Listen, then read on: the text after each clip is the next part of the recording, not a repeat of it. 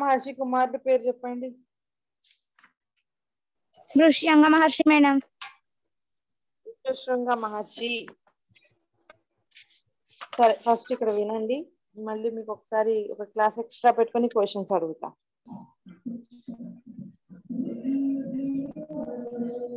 మనం ముందు క్లాస్లో చెప్పుకున్నానికి ఇప్పుడు కంటిన్యూ చేసుకుంటాము అయోధ్య కాండలో భాగంగా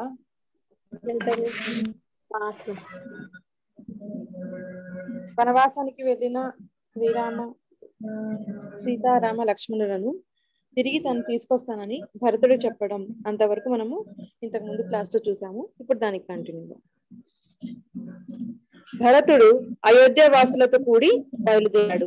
శృంగి పేరపురం చేరాడు. గుహుని గూడు భరతుని ఆంతర్యం తెలియక యుద్ధ సన్నద్ధమయ్యాడు. తీరా విషయం తెలిసాక ఎదురెళ్ళి భరతుణ్ణి ఆహ్వానించాడు.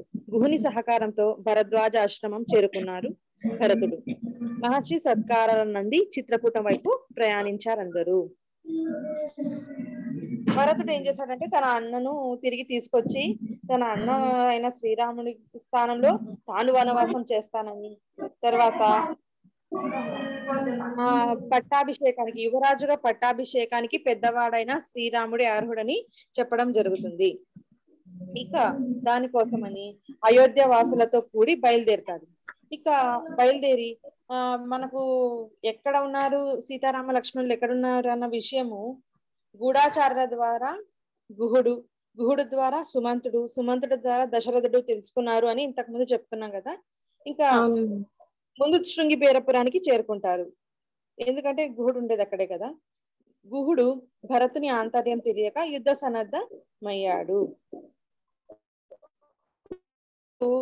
భరతుని చూసి వ్యతిరేకంగా అనుకున్నాడు. శ్రీరామునికి వ్యతిరేకంగా ఏదో చేయబోతున్నాడు అని యుద్ధానికి సన్నద్ధుడయ్యాడట.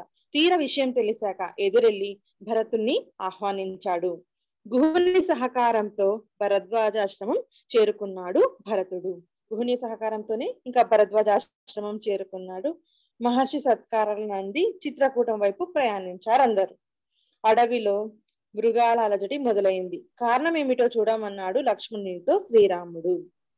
ఇక వాళ్ళు రావడము కొంచెం మృగాల యొక్క అలజడి ఇదంతా మొదలైతే ఎందుకు ఈ విధంగా జరుగుతుంది చూడమంటే వెంటనే లక్ష్మణుడు ఒక పెద్ద మద్ది చెట్టు ఎక్కాడు విషయం అర్థమైంది. చెట్టు దిగి శ్రీనితకు భరతుడు దుర్బుద్ధితో ససైన్యంగా వస్తున్నాడు. మన ధనుర్బాణాలను సిద్ధం చేసుకుందాం అన్నాడు లక్ష్మణుడు. ఇక ఈ అలజడి ఎందుకని చూ చూడడానికి పెద్ద మది చెట్టు ఎక్కిన చూసిన లక్ష్మణుడు దూరంగా వస్తున్న భరతుని చూసి చెట్టు దిగి వచ్చి శ్రీరాముడి దగ్గర సైన్యంతో వస్తున్నాడు. మన మీద దాడి చేస్తాడేమో. మనం కూడా ధనుర్బాణాలను సిద్ధం చేసుకుందాము అని చెప్పటంతో శ్రీరాముడు లక్ష్మణుని ఆలోచనలో పొరపాటు ఉందని చెప్పాడు. నీ ఆలోచనలో పొరపాటు ఉంది. భరతుడు అలాంటి వాడు కాదన్నాడు. లక్ష్మణ ఒకవేళ నీకు రాజకాంక్ష ఉంటే చెప్పు. భరతుని చెప్పి ఆ రాజ్యాన్ని నీకే ఇప్పిస్తానన్నాడు. ఇంతలో భరతుడు పర్ణశాలకు చేరుకున్నాడు. అయితే ఈ విధంగా ఆ పొరపాటు పొరపడినావు నువ్వు లక్ష్మణ నువ్వు పొరపడినావు. ఒకవేళ నీకేమైనా రాజకాంక్ష ఉందో చెప్పు. భరతుడితో మాట్లాడి ఆ రాజ్యాన్ని నీకైనా ఇప్పిస్తాను. నువ్వు అనుకున్నది కాదు. భరతుడు మన మీద దాడి చేయడానికో దేనికో రావడం లేదు అని చెప్తూ ఉన్నాగానే ఆ భరతుడు పర్ణశాలకు చేరుకుంటాడంట.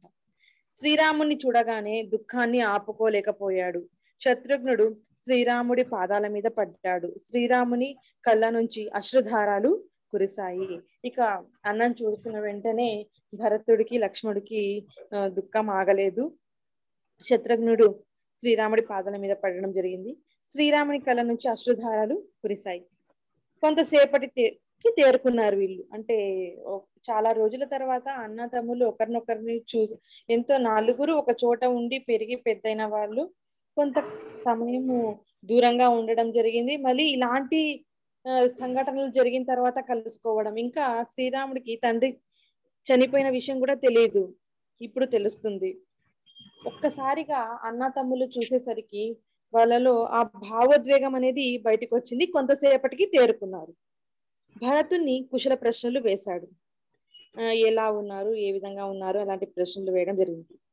ప్రసంగావశాత్తు రాజనీతి ధర్మాలను కూడా బోధించాడంట. ఏ విధంగా రాజ్యాన్ని రాజ్యంలో ఏ విధంగా పరిపాలన చేయాలి అని కొన్ని రాజనీతి ధర్మాలను కూడా బోధించడం జరిగింది. శ్రీరాముడు తండ్రి మరణవాత విని విలపించాడు. ఇప్పుడు శ్రీరాముడికి వీళ్ళ ద్వారా తండ్రి మరణ వార్త తెలుస్తుంది. ఆ వార్త తెలిసి విలపించాడు. శ్రీరాముణ్ణి అయోధ్యకు రమ్మని రాజువు కమ్మని సవినయంగా ప్రార్థించాడు భరతుడు. కానీ తండ్రి మాటే శిరోధార్యమని శ్రీరాముడు అంగీకరించలేదు. ఇంకా భరతుడు అక్కడికి రా వచ్చిన విషయం ఇదే ఏది? అయోధ్యకు వచ్చి రాజు కమ్మని సవినయంగా ప్రార్థిస్తే లేదు లేదు తండ్రి మాటే శిరోధార్యం అన్నాడు. అంగీకరించలేదు. శ్రీరాముని నాస్తికవాదంతో ఒప్పించజూపాడు జాబాలి. జాబాలి అనే అతను దశరథుని పురోహితుడు. అతడు కూడా ఒప్పించాలని నాస్తికవాదంతో ఒప్పించాలని చూశాడు కానీ జాబాలి వాదాన్ని శ్రీరాముడు ఖండించాడు. జాబాలి వాదాన్ని కూడా ఖండించడం జరుగుతుంది శ్రీరాముడు. ఇక భరతుడి అభ్యర్థన మేరకు శ్రీరాముడు పాదుకలను అనుగ్రహించాడు. ఆ పాదుకలు అంటే కాలకు కాళ్ళకు ధరించే చెప్పుల లాంటివన్నీ. ఇక్కడ చిత్రంలో మీరు గమనించవచ్చు. శ్రీరాముడు తన పాదుకలు భరతుని చేతికి ఇవ్వడం చేతిలో ఉండడం దీవించడం వంటివి. ఒకవైపు శ్రీరాముడు కూర్చొని ఆ పాదుకలు భరతుడికి ఇస్తుంటే ఒకవైపు సీత ఇంకొక వైపు లక్ష్మణుడు ఉండడం మీరు ఇక్కడ ఇచ్చిన చిత్రంలో గమనించవచ్చు. ఇక్కడ భరతుని చేతిలో ఉండేవే పాదుకలు. సరే ఖండించాడు కదా అయోధ్య క్రమ వచ్చి రాజు కమ్మని ఇక ఒక అభ్యర్థన చేశాడు భరతుడు. ఏమని? పాదుకలు ఇమ్మని. ఆ అభ్యర్థన మేరకు భరతుని అభ్యర్థన మేరకు శ్రీరాముడు పాదుకలను అనుగ్రహించాడు. అప్పుడు భరతుడు అన్నా ఈ పాదుకల మీదనే రాజ్య పాలనా భారాన్ని ఉంచుతాను. ఈ పద్నాలుగు సంవత్సరాలు నేను కూడా జటలను ధరించి నారచీరలు కట్టి వనవాస నియమాలతో నగరం వెలుపల ఉంటాను. అని అన్నాడు. ఏమన్నాడు? ఈ పాదుకల్ని ఓ రా ఈ పాదుకలే పాదుక పట్టాభిషేకం చేస్తాను. అంటే ఈ పాదుకల్ని రాజ్య పాలనా భారాన్ని ఉంచుతాను. నీవు పద్నాలుగు సంవత్సరాలు వనవాసం ఏ విధంగా అయితే చేస్తావో అదే విధంగా నేను కూడా జడలను ధరిస్తాను. నార చీరలను కట్టి వనవాస నియమాలతో నగరం వెలుపల నేను కూడా నగరంలో ఉండను నగరం వెలుపల ఉంటాను.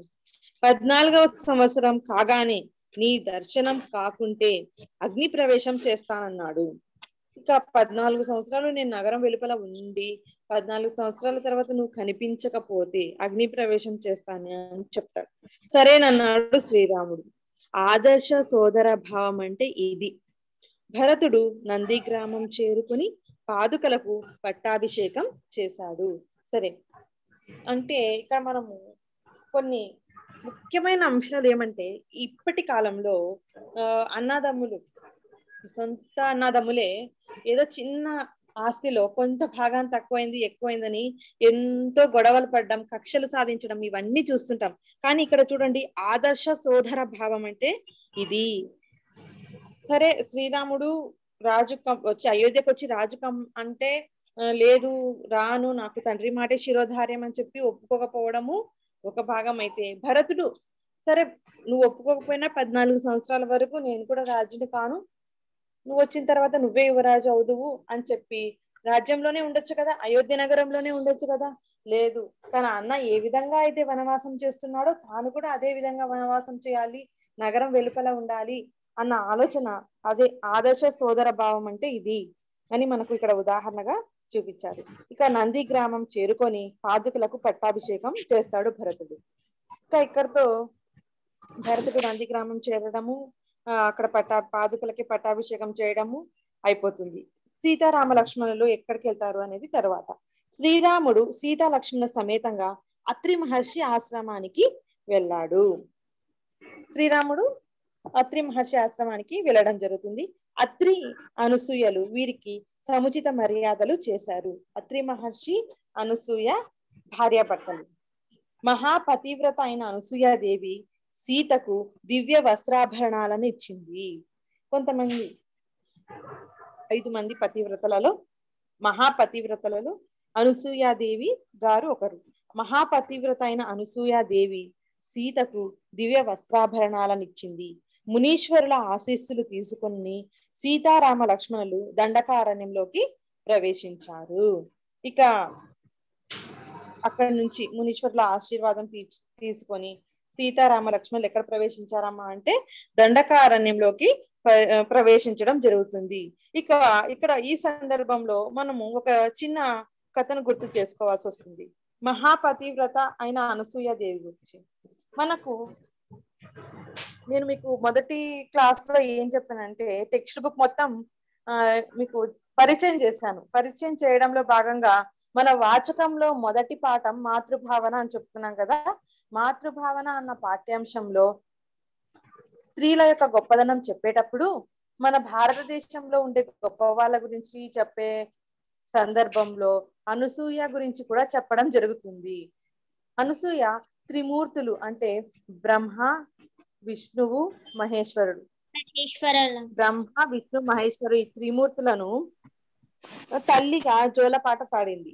అసలు మహాపతివ్రత అయిన అనసూయను ఒకసారి పరీక్షించి తెలిసి త్రిమూర్తులు ఏం చేస్తారంటే ఆమె ఇంటికి భోజనానికి వెళ్ళి తమకు నగ్నంగా భోజనం పెట్టాలా అన్న ఒక పరీక్ష పెడతారు. ఇక మహాపతివ్రత అయిన అనసూయాదేవి వీళ్ళ ఆంతర్యం గమనించి వాళ్ళని ముగ్గురిని త్రిమూర్తులను చంటి పీటలను చేసేసి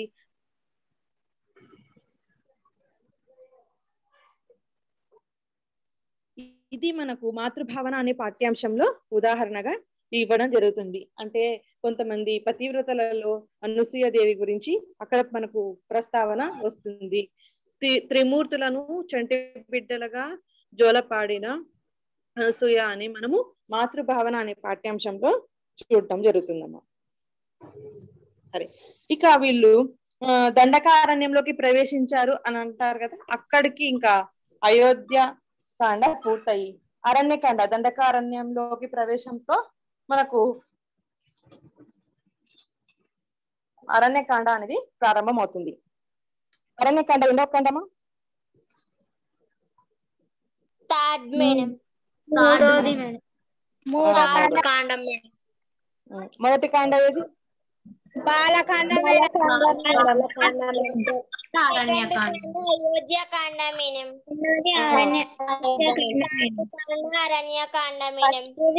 బాలకాండ సెకండ్ అయోధ్యకాండ.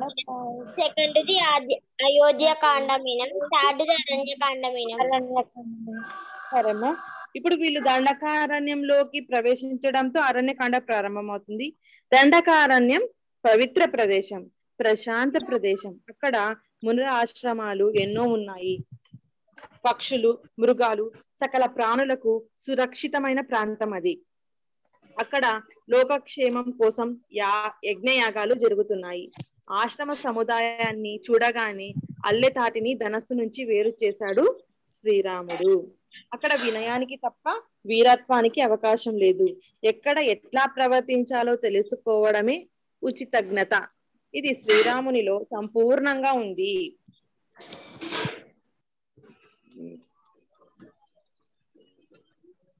సరే దండకారణ్యం పవిత్ర ప్రదేశం ప్రశాంత ప్రదేశం. అక్కడ మునుల ఆశ్రమాలు ఎన్నో మునుల ఆశ్రమాలు ఉన్నాయట ఆ దండకారణ్యంలో. పక్షులు మృగాలు సకల ప్రాణులకు సురక్షిత ప్రదేశం అది. అక్కడ లోకక్షేమం కోసం యజ్ఞయాగాలు జరుగుతాయట. ఆశ్రమ సముదాయాన్ని చూడగాని అంటే ఆ దండకారణ్యంలో ఉండే ఆశ్రమ సముదాయాన్ని చూసిన వెంటనే శ్రీరాముడు ఒక పని చేయడం జరుగుతుంది. తన ధనస్సు నుంచి అల్లె అల్లె తాటిని వేరు చేయడం జరుగుతుంది. అక్కడ వినయానికి తప్ప అంటే అక్కడ వినయానికి తప్ప వీరత్వానికి ఏదో వేటగా వేటకు గాని వీరత్వానికి కానీ తన యుద్ధ విద్యను ప్రదర్శించడానికి అవకాశం లేదు. ఎక్కడ ఎట్లా ప్రవర్తించాలో తెలుసుకోవడమే ఉచితజ్ఞత. ఇది శ్రీరామునిలో సంపూర్ణంగా ఉంది. సీతారామ లక్ష్మణులకు మహర్షులు సాదర స్వాగతం పలికారు. అక్కడ ఉండే మహర్షులు అంటే అక్కడ ఆశ్రమాలు ఎన్నో ఉన్నాయి కదా మహర్షులు సాదర స్వాగతం పలికారట. ఆ సముదాయంలోని ఒక పర్ణశాలలో విడిది ఏర్పాటు చేశారు. మరునాడు ఉదయం నిత్యోచిత కర్మలు ముగించుకొని మహర్షులకు వీడుకోలు పలికి సీతారామ లక్ష్మణులు ప్రయాణాన్ని కొనసాగించారు. ఇక వాళ్ళ ప్రయాణాన్ని వాళ్ళకు వీడుకోలు పలికి వాళ్ళ ప్రయాణాన్ని కొనసాగించారంట. వనం మధ్యకు చేరుకున్నారు. ఇంతలో వికృత ఆకారంలో ఉన్న విరాధుడనే రాక్షసుడు అమాంతంగా సీతారామ లక్ష్మణుల పైకి విరుచుకుపడ్డాడు. వనం మధ్యలో చేరుకుంటేనే ఈ వికృత ఆకారంలో ఉండే ఒక రాక్షసుడు అతని పేరు విరాధుడు. సీతారామ లక్ష్మణుల మీద విరుచుకుపడ్డాడంట. రామ లక్ష్మణులను తన భుజాలపై వేసుకుని తీసుకుపోసాగాడు. సీత గగ్గోలు పెడుతుంది. రామ లక్ష్మణులు విరాధుని రెండు భుజాలు నరికివేశారు. ఒక్కసారిగా రామలక్ష్మణుని తన భుజాల మీద వేసుకొని పోతూ ఉంటే ఇంకా వాళ్ళిద్దరు భుజాన్ని నరికివేయడం జరుగుతుంది. నేలపై కుప్పకూలాడు విరాధుడు ముష్టి ఘాతాలతో దాడి చేశారు రామలక్ష్మణులు. ఎంతకు చావని విరాధుణ్ణి గోతిలో పాతి పెట్టడానికి సంసిద్ధులయ్యారు. సరే ఒక్కసారిగా ఆ చేతి అతని రెండు చేతుల మీద ఒకవైపు ఒక చేతితో రాముని ఒక్కొక్క చేతితో లక్ష్మణ్ని తీసుకొని వెళ్తుంటే ఒక్కసారిగా ఇద్దరు కలిసి ఆ విరాధుడనే రాక్షసుడి యొక్క భుజాలను నరికి వే వేయడం జరుగుతుంది ఆ నరికి వేసిన వెంటనే అతడు కుప్పకూలిపోయాడు. ఇక కుప్పకూలిన తర్వాత అతన్ని ముష్టిఘాతాలతో మోకాళ్ళతో ఎంత దాడి చేశారు? ఎంతకు చావకపోతే సరేలే గోతి పెడదాము గోతి తీసి పాతి పెడదాము అని అనుకున్నారు. వెంటనే విరాధుడు తన పూర్వకథను వివరించాడు. ఏమని వివరించాడు? తుంబురుడే తుంబురుడనే గంధర్వుడైన తాను కుబేరుని శాపంచే రాక్షసుడిగా మారిన విషయం తెలిపాడు. అసలు వి- విరాధుడు అనే రాక్షసుడు ఇంతకు ముందు ఎవరంట అంటే తుంబురుడు అనే గంధర్వుడు. గంధర్వుడు అంటే గానం చేసే అతన్ని గంధర్వుడు అని అంటారు. తుంబురుడు అనే గంధర్వుడైన తాను కుబేరుని శాపం చేత రాక్షసుడిగా మారిన విషయం తెలిపారు. శ్రీరాముని వల్ల శాప విముక్తి కలుగుతుందన్న కుబేరుని మాట మాటలను జ్ఞాపకం చేసుకున్నారు. దగ్గరలోనే ఉన్న శరభంగ మహర్షిని దర్శించుకోమని శుభం జరుగుతుందని శ్రీరామునికి చెప్పాడు. తనను గోతిలో పూడ్చమన్నాడు. అలాగే చేశారు రామలక్ష్మణులు. ఇంకా తన పూర్వకథను చెప్పి తాను తుంబరుడని కుబేరుని శాపం వల్ల ఈ విధంగా మారాను. అయితే నా శాపానికి విముక్తం ఎవరు కలిగిస్తారంటే శ్రీరాముడు కలి కలిగిస్తాడని చెప్పి కుబేరు ఈ విధంగా చెప్పాడు. ఇంకా దాంతో పాటు ఇంకొక మాట చెప్తాడు.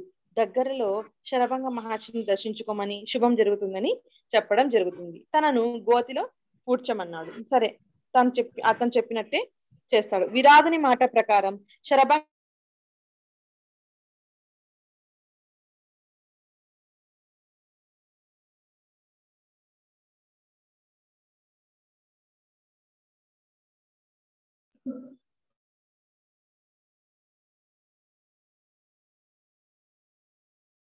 ప్రకారం అంటే ఆ మాట ప్రకారము శరభంగ మహర్షి దర్శనానికి బయలుదేరి శరభంగ మహర్షి దగ్గరికి వెళ్తాడు. శరభంగ మహర్షి గొప్ప తపస్వి దైవ సాక్షాత్కారం పొందినవాడు. ఇక రామ దర్శనం కోసమే వేచి ఉన్నాడు. ఇక తాను సంపాదించిన తన తప ఫలాన్నంతా రాముడికి ఇచ్చేసి భవిష్యత్తులో రాముడు చేయవలసిన రావణ సంహారాన్ని కూడా ఇది తోడ్పడుతుంది అన్నాడు అప్పటికే ఇంకా సీతాపహరణ జరగలేదు రావణాసుని ప్రస్తావన లేదు.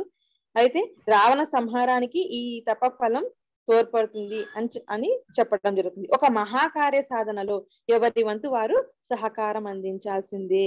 ఒక గొప్ప కార్యం జరిగేటప్పుడు ఎవరి వంతు వాళ్ళు సహకారం అందిస్తేనే ఆ కార్యం జరుగుతుంది. ఇక ఈయన అంటే శరభంగ మహర్షి తన వంతు తాను తన తప ఫలాన్ని శ్రీరాముడికి దారపోయడం జరుగుతుంది. అక్కడికి చేరువలోనే ఉన్న సుతీష్ణ మహర్షిని దర్శించమని శ్రీరామునకు సూచించాడు శరభంగ మహర్షి. విరాధుడేమో శరంగ శరభంగ మహర్షిని దర్శించమన్నాడు. శరభంగ మహర్షి ఎవరిని దర్శించమన్నాడు అంటే సుతీష్ణ మహర్షిని దర్శించమన్నాడు. సీతారామ లక్ష్మణులు చూస్తుండగానే తన దేహాన్ని విడిచి అగ్ని తేజస్సుతో బ్రహ్మలోకానికి చేరాడు శరభంగ మహర్షి. అక్కడి మునులందరూ శ్రీరాముని వద్దను వచ్చి తమ గోడును వెళ్ళబోసుకున్నారు రాక్షసులు మునులపై చేసే ఆకృత్యాలను ఏకరువు పెట్టారు ఇంకా అక్కడే ఉండే కొంతమంది మునులు వచ్చి రాక్షసులు తమని ఎంత ఇబ్బంది పెడుతున్నారో వచ్చి చెప్పుకున్నారు. రాక్షసుల చేతిలో బలైన మునులో కలేబరాలు చూపించారు. రాక్షసుల బారి నుండి రక్షించమని ప్రార్థించారు. వారితో శ్రీరాముడు ఏమన్నాడంటే మహాత్ములారా మీరు నన్ను ప్రార్థించడం తగదు. ఆజ్ఞాపించాలి. మీ ఆజ్ఞలను నేను శిరసా వహిస్తానన్నాడు ఈ విధంగా మునులు తన దగ్గర వచ్చి మొరపెట్టుకుంటే మీరు నా దగ్గర ప్రార్థించకూడదు ఆజ్ఞాపించాలి అని చెప్పాడు. అహంకరించకుండా తన బాధ్యతను గుర్తించడంలోనే గొప్పదనం ఉంది. ఏమో తనకు శక్తి ఉంది తనకు విద్య తెలుసని అని అహంకారం లేదు. ఇంతకుముందే మనము అయోధ్య కాండలోనే అహంకారం లేదు అని చెప్పుకున్నాం కదా అహంకరించకుండా తన బాధ్యతను గుర్తించడంలోనే గొప్పదనం ఉంది. సీతారామ లక్ష్మణులు సుతీష్ణ మహర్షి ఆశ్రమానికి చేరుకున్నారు. శ్రీరామ దర్శనం కోసమే సుతీష్ణ మహర్షి దేహం విడవకుండా ఉన్నాడు. ఈయన కూడా తన తపశ్శక్తినంతా శ్రీరామునకు ధారదత్తం చేశాడు. మరునాడు వారు మహర్షి అనుమతి తీసుకొని బయలుదేరడం జరిగింది. ఇక్కడ ముందు వనం మధ్యలో రాగానే విరాధుడు అనే రాక్షసుడు ఆ తన వృత్తాంతం చెప్పి శరభంగా మహర్షిని దర్శించమంటాడు. శరభంగా మహర్షి సుతీష్ణ మహర్షిని దర్శించమని చెప్పడం జరుగుతుంది. అక్కడ నుంచి వీళ్ళు ఇంకా ఎవరెవరి దగ్గర పోతారు? ఎక్కడ తమ స్థావరాన్ని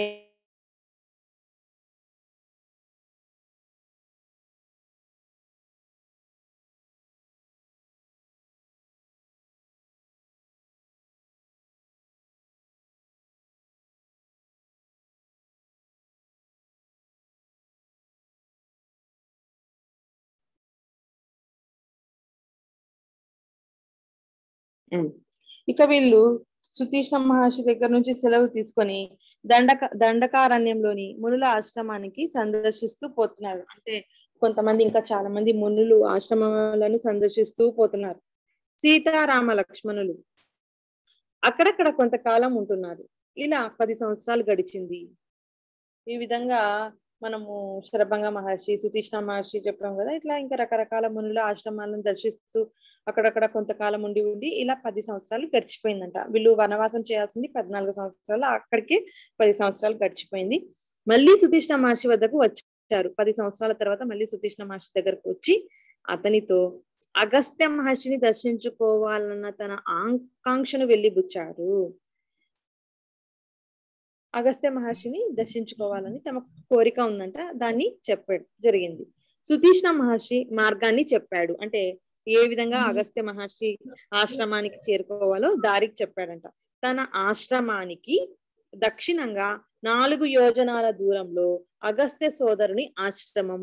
అక్కడికి యోజన దూరంలో అగస్త్య ఆశ్రమం ఉందని తెలిపాడు. ఇప్పుడు సుతీష్ణ మహర్షి ఆశ్రమం ఉంది కదా అక్కడి నుంచి దక్షిణంగా నాలుగు యోజనాల దూరం. మనము ఇప్పుడు అంటే ఏదన్నా దూరం డిస్టెన్స్ చెప్పాలంటే కిలోమీటర్స్లో చెప్తాం కదా అప్పుడు యోజనాల దూరంలో. నాలుగు యోజనాల దూరంలో అగస్త్య సోదరుని ఆశ్రమం. అక్కడికి యోజన దూరంలో అగస్త్య ఆశ్రమం ఉందని తెలిపాడు. మహర్షి వద్ద సెలవు తీసుకుని బయలుదేరారు సీతారామ లక్ష్మణుడు సాయంకాలానికి అగస్త్య సోదరుని ఆశ్రమానికి చేరుకున్నారు.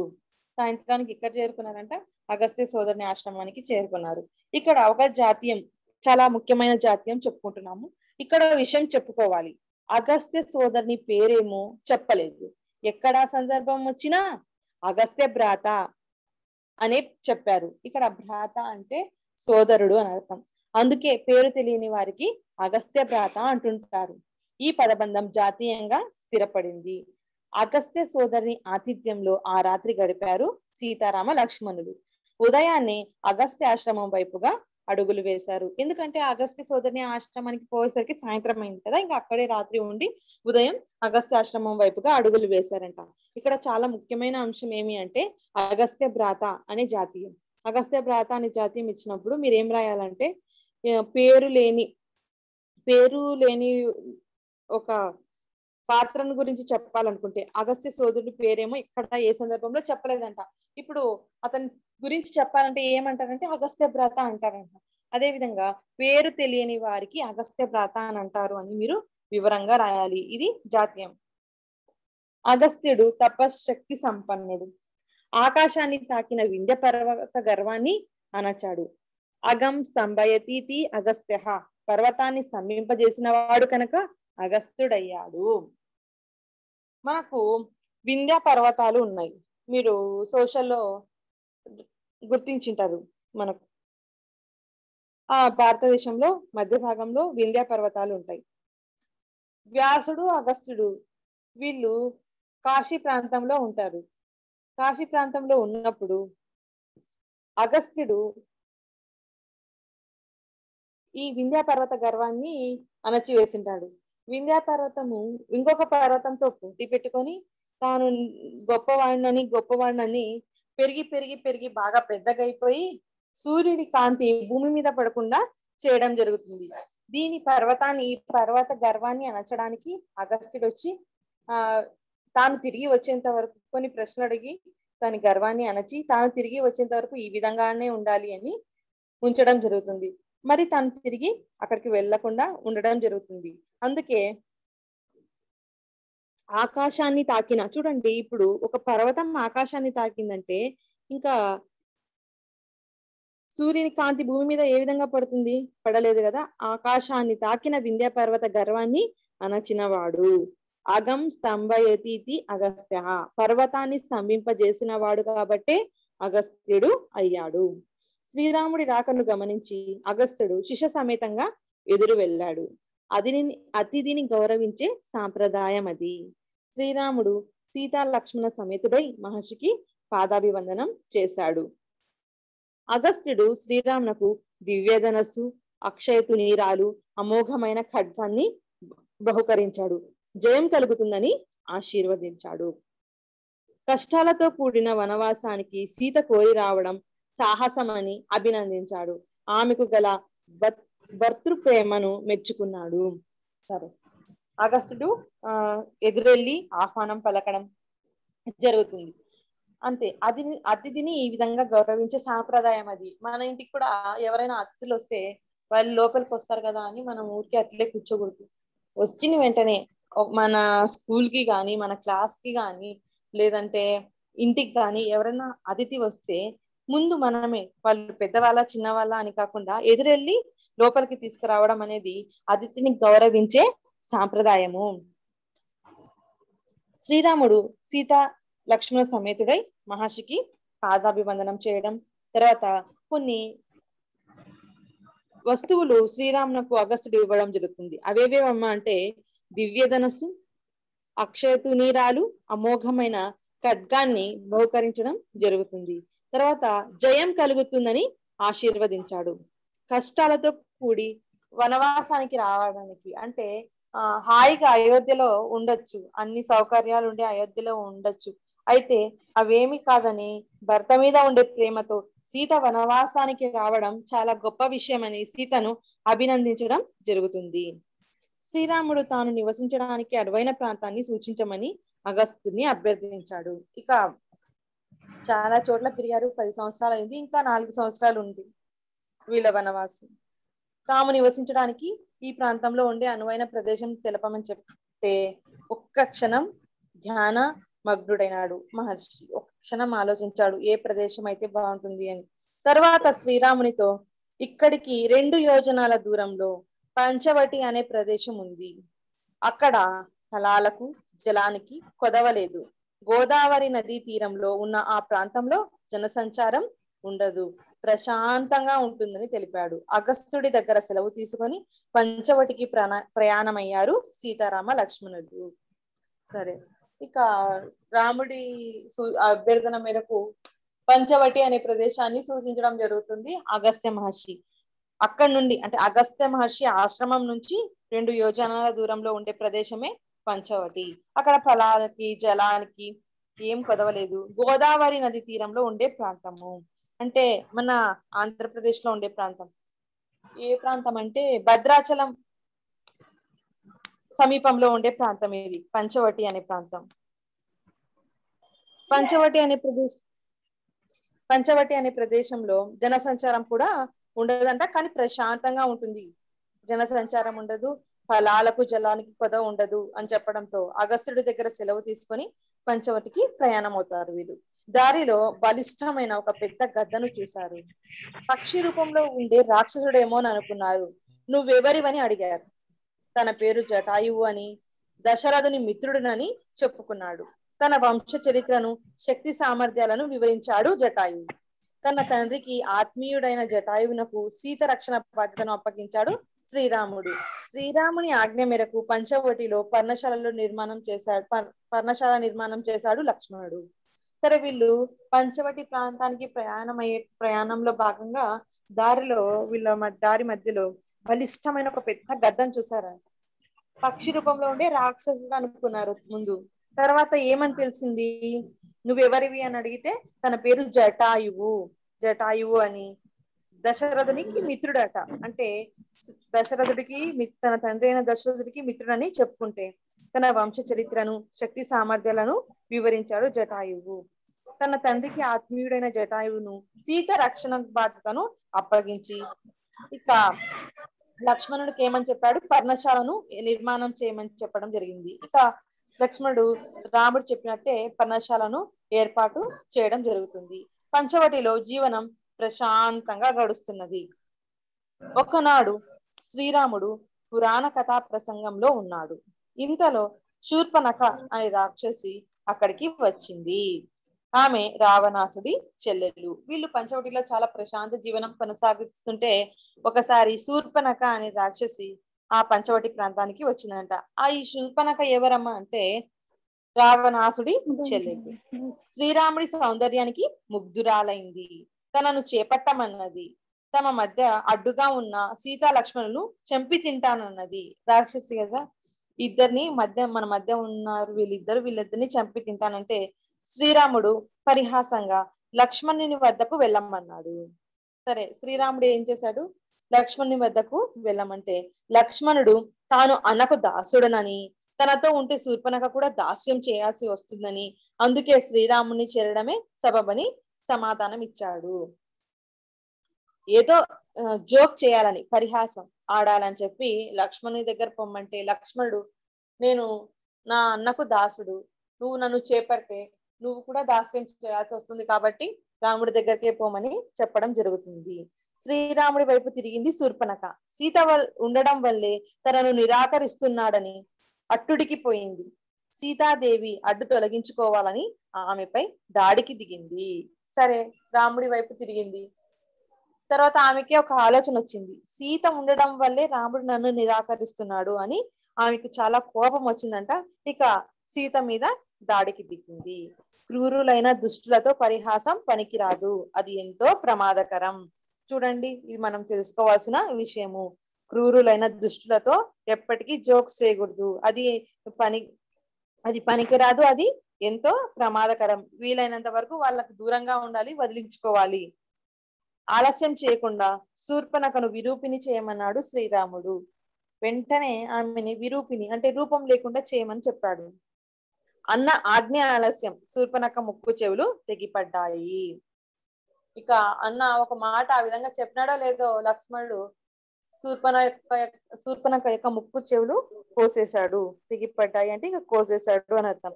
లక్ష్మణుడు ఇంతకు ముందు ఎవరి ముక్కు చెవులు కోసేశాడమ్మా?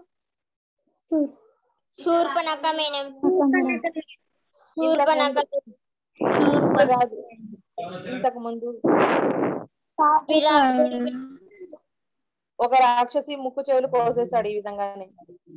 తాటకం ఆ తాటకవి. తాటక లేదా తాటకి ముక్కు చెవులను కోసేయడం జరుగుతుంది లక్ష్మణుడు. సరే. ఆ ముక్కు చెవులు తెగిపడ్డాయి లక్ష్మణుని దెబ్బకు. లబో దిబోమని మొత్తుకుంటూ సోదరుడైన కరుడి దగ్గరికి వెళ్ళింది శూర్పనఖ ఇక లబో దిబోమని తన సోదరుడు అంటే ఇంకొక సోదరుడు కరుడి దగ్గరకు వెళ్ళింది శూర్పనఖ కరుడు పద్నాలుగు మంది యోధులను పంపాడు. పద్నాలుగు మంది యోధ యోధులను పంపితే వాళ్ళంతా శ్రీరాముని చేతిలో మట్టి గరిచారు. ఇది చూసిన శూర్పనఖ కరుని వద్దకు వెళ్ళి చెప్పింది. నువ్వు పంపిన పద్నాలుగు మంది యోధులు మట్టి కరుకొ ఖర్చుకోపోయినారు అని. సరే. ఖర దూషణాదులు కరుడు దూషణులు ఇంకా కొంతమంది పద్నాలుగు వేల మంది రాక్షసులతో రాముడి మీదకు దండెత్తాడట.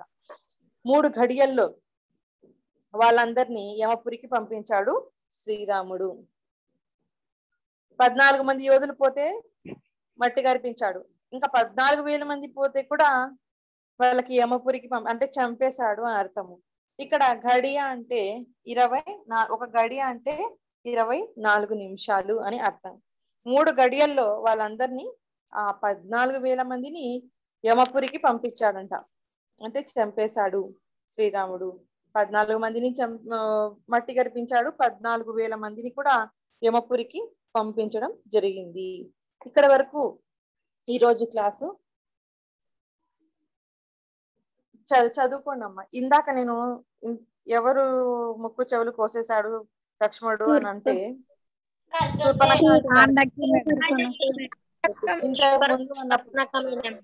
మధ్యలో క్వశ్చన్స్ అడిగితే వెంటనే సమాధానం చెప్పాలి కాబట్టి చదువుకోండి. సరే మేడం. Okay madam.